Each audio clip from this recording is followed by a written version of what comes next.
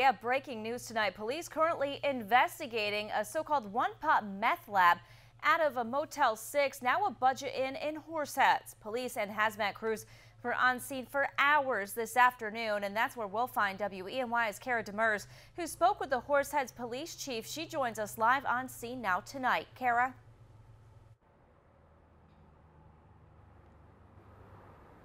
Renata, I was told by police earlier today that they received a larceny call at around 9 a.m. this morning. Now, when they arrived here to look into that call, they actually discovered several different drugs in this hotel room, which you can see behind me. Those drugs actually resulted um, in the discovery of this meth lab. I also spoke with one guest who was staying in the room across the hall from this hotel room. Um, he told me he could smell the meth cooking in the hallway last night. Um, he also said that he was woken up by police activity this morning before eventually the police asked him to evacuate his hotel hotel room around 10 a.m.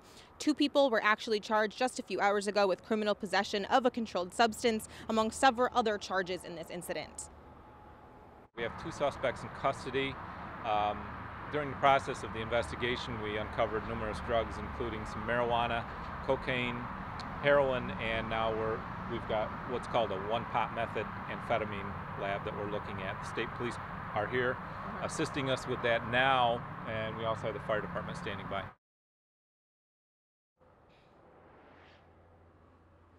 Now, both subjects were arraigned in court just a few hours ago and they were sent to Chemung County Jail. They'll be held there without bail. For now, reporting in Horseheads, Kara Demers, WENY News.